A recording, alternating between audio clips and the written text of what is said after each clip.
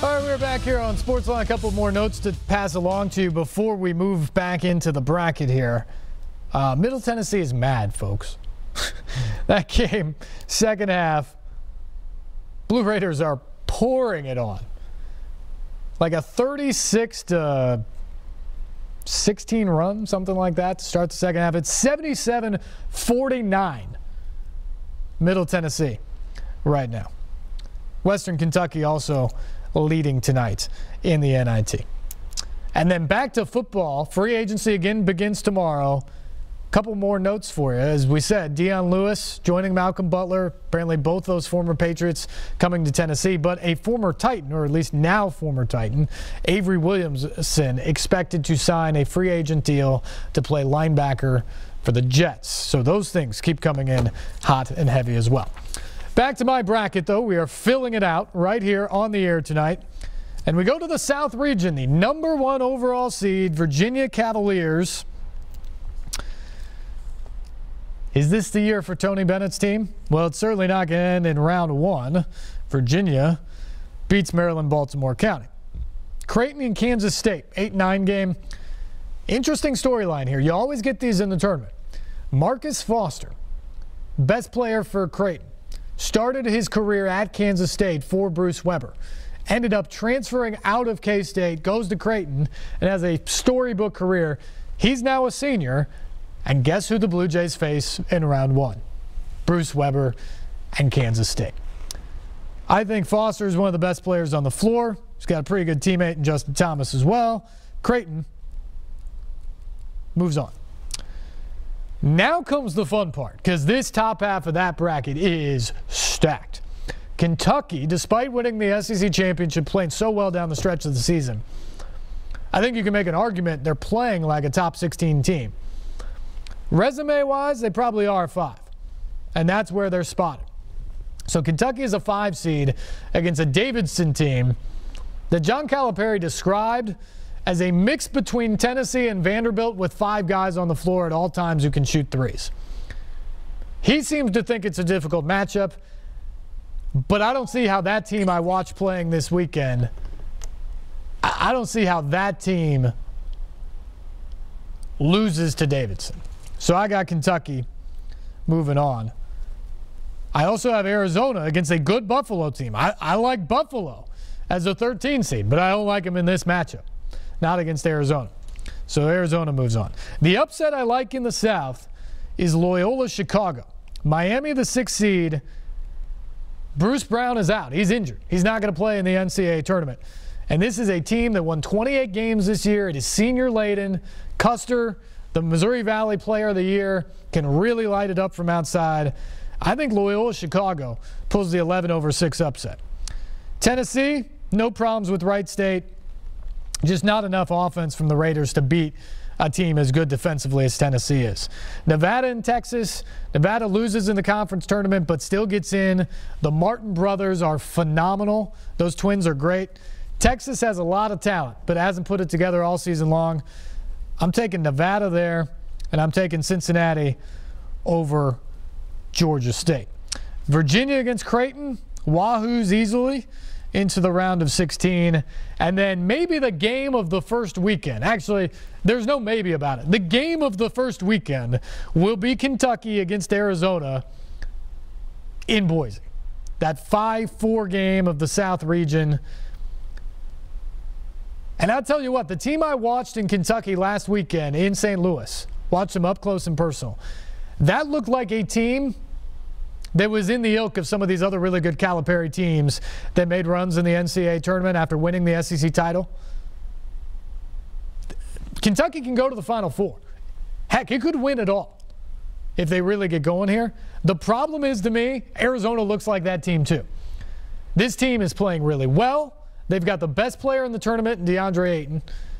And I think they're now playing for Sean Miller because of that whole episode of the report that says he was wiretapped offering to pay DeAndre Ayton. I think this team's playing for its coach now, so I got Arizona moving on. I think Tennessee handles then. I think Tennessee handles Loyola of Chicago pretty easily. I think Cincinnati will D up Nevada. And so that sets up your Sweet 16. Virginia and Arizona. I love Virginia. I, I think this is a good defensive team, but I just think Arizona's better, especially with DeAndre Ayton inside. And we learned today that DeAndre Hunter of Virginia, the sixth man of the year in the ACC, broke his wrist in the ACC tournament, and it will be out for the entire NCAA tournament. So Virginia, the number one overall seed, loses a top six player, a guy who's really important for them, and to me gets in a stacked bracket with Arizona and Kentucky. So I got Arizona moving on. Tennessee, Cincinnati.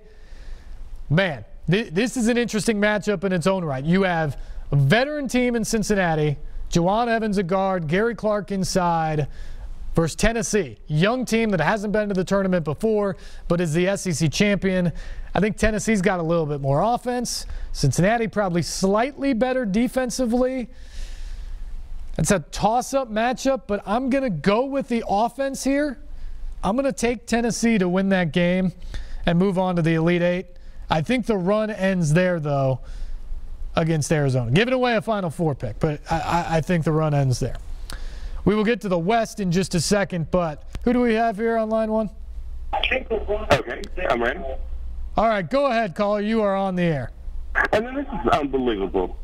I respect you as a sportsman, but you know March makes fools out of everybody. No way Tennessee is going to beat Cincinnati. All right, go ahead. You you don't think Tennessee beats Cincinnati? No way, not those 12 points. Okay. And and why do you think that specifically? I've seen them both play.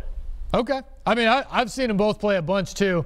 I just don't think Cincinnati has a ton of offensive firepower. I think it's going to be a low scoring, you know, kind of a rock fight type of game. And I just, at this point, I think I trust Tennessee to get the buckets. Now, Tennessee's probably more inconsistent and it, maybe prone to the 10 minute drought that a veteran team's not going to have.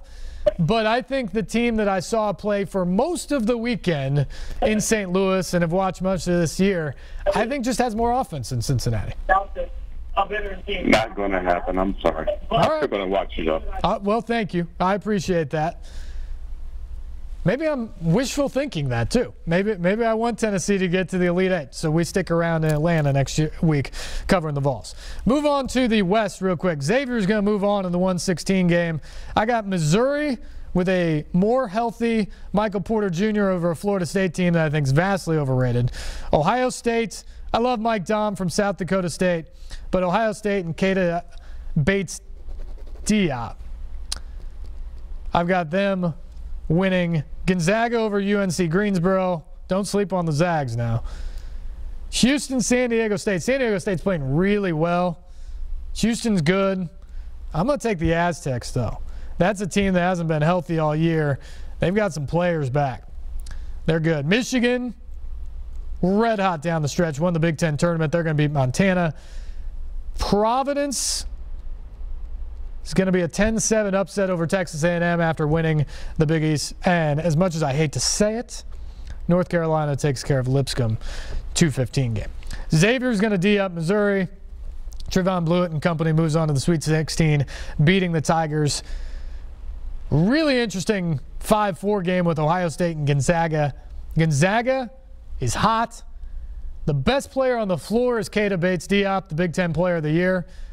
But I'll go with Perkins and company out there with the Zags. They're going to move on to take on Xavier. I got Michigan over the 11 seed San Diego State, and then North Carolina over Providence. I'm going to go Gonzaga with the upset over Xavier. And this is a tough one. Michigan and North Carolina. Michigan's playing really well. Mo Wagner and that team, they can really shoot it from outside. But North Carolina is one of the best three point defensive teams in the country and the number one rebounding team in the country. A lot of guys with experience deep in the tournament from last year.